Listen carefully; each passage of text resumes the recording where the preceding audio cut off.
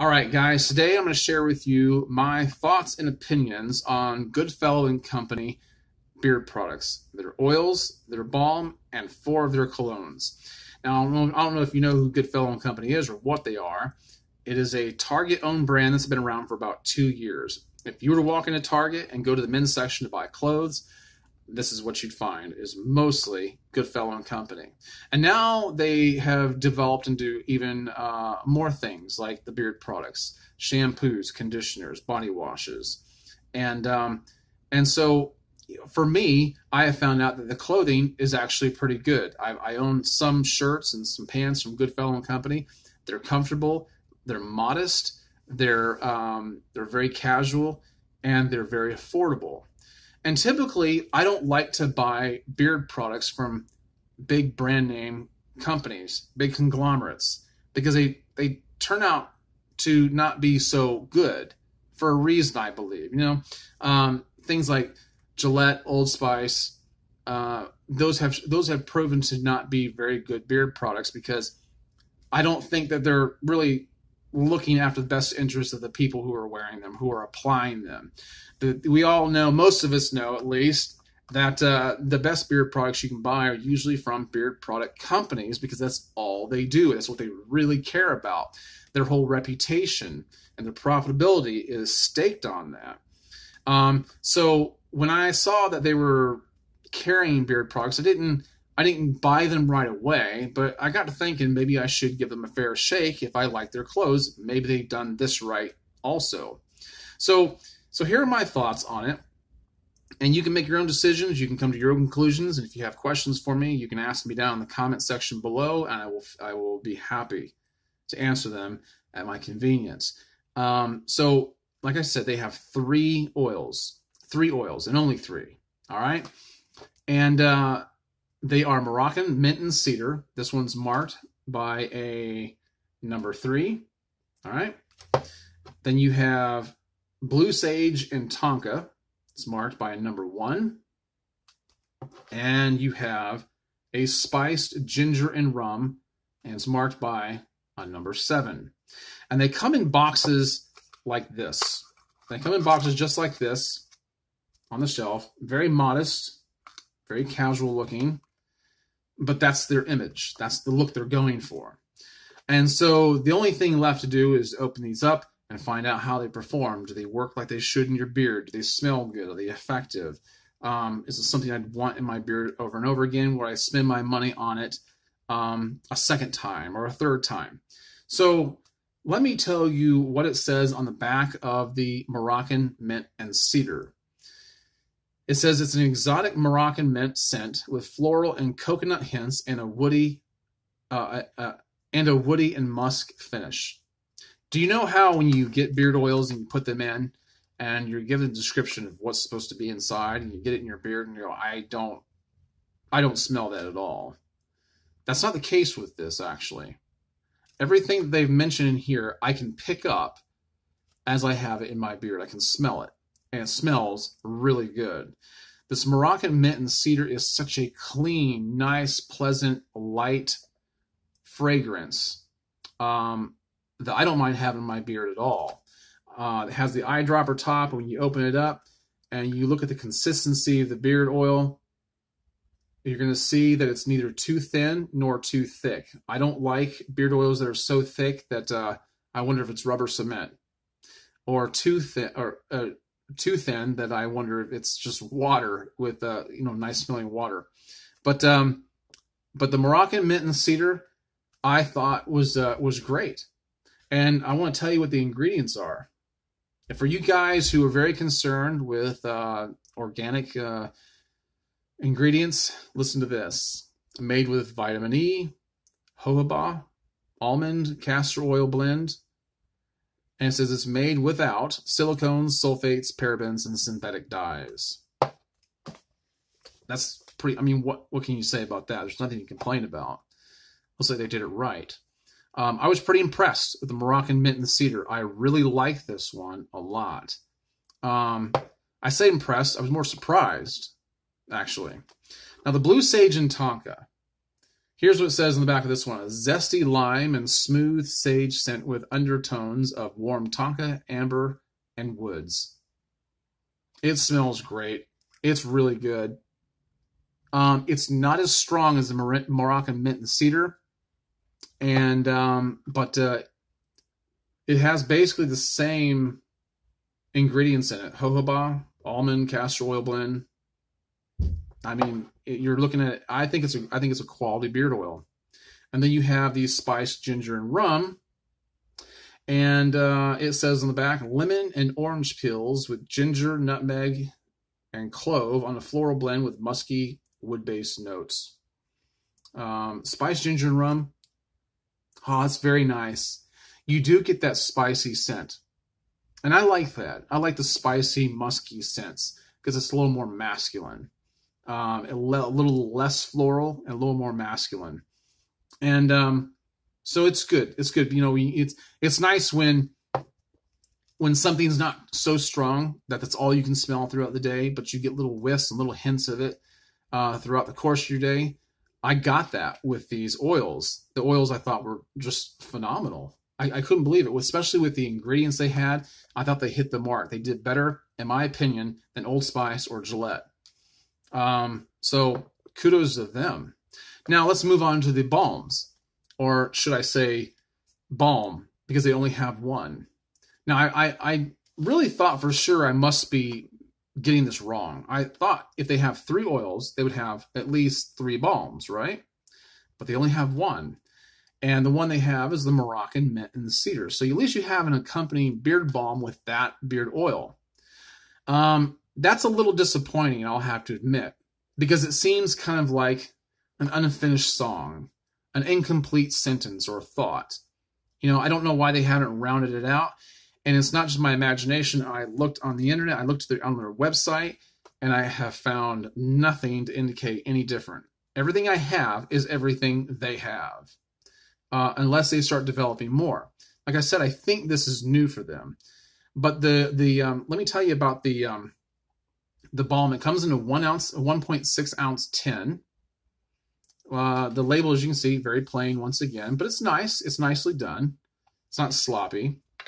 Um, and I, they don't give you any of the ingredients on the lid or on the base, but I kind of trust what it has in it because I've got other beard balms that I I can kind of compare it to, and because their oils are so good, I felt like uh, their balm is probably on on on task with the rest of it. It's very stiff, very stiff beard balm, more stiff than most of the other beard balms I have. I was a little surprised. For me, it might be a little too stiff. When you take it out, when you take it out, you, it doesn't break down as fast I mean, you can look at that. It's still not breaking down real fast. But that's not to say I don't like it, because I do like it. Um, course, you're going to be having it in your palm before you put it on your beard. And um, it works really well. And smells so good.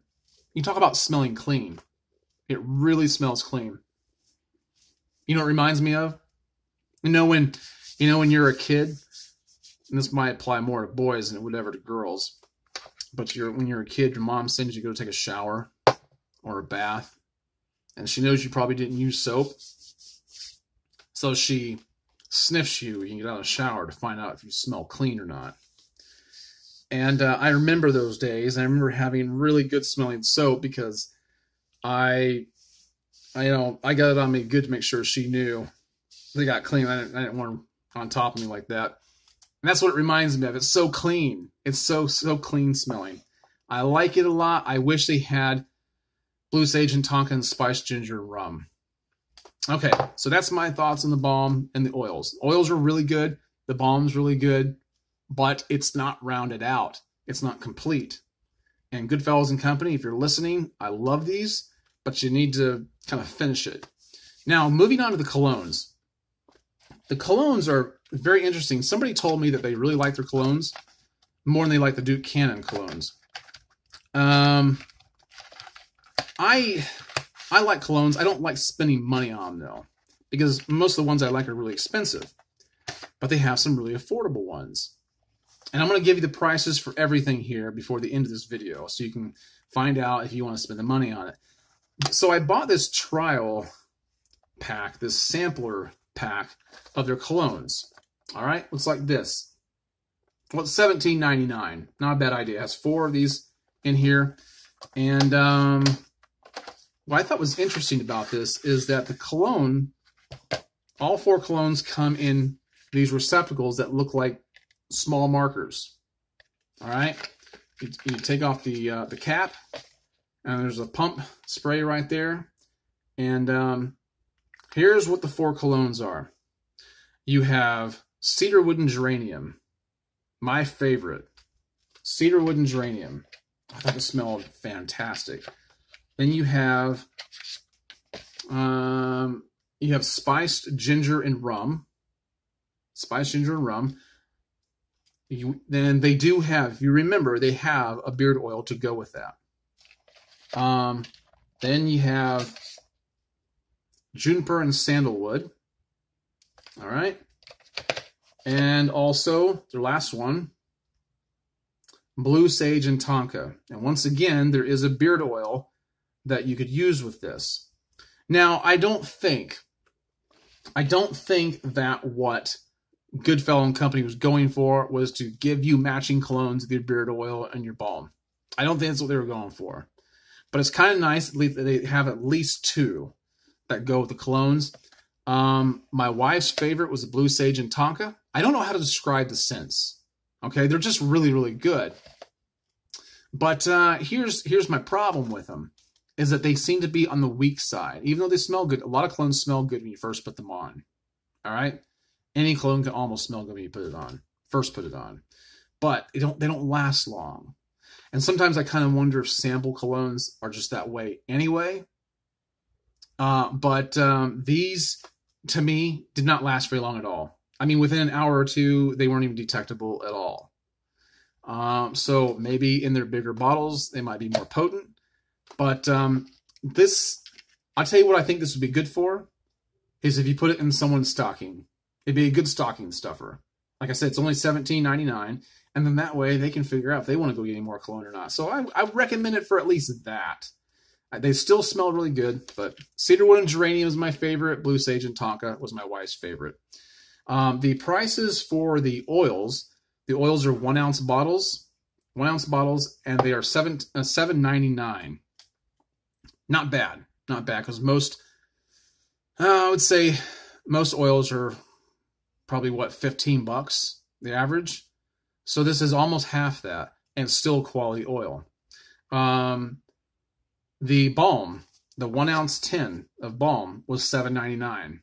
It's really good a little too stiff for me, but it's still really good. It smells great. It does the job. Seven ninety nine. Uh, the colognes.